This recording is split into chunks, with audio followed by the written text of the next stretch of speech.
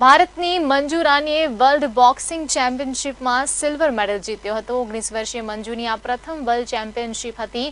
Debut world ચેમ્પિયનશિપમાં silver medal જીતનાર બીજી ભારતીય છે. આ અગાઉ મેરી કોમે બે હજાર એકમાં સિલ્વર જીત્યો હતો. મંજુને અડતાલીસ કિલોગ્રામની ફાઇનલમાં રશિયાની એકેતરીના પેલ્ટ સેવાએ ચાર એકથી હરાવી હતી.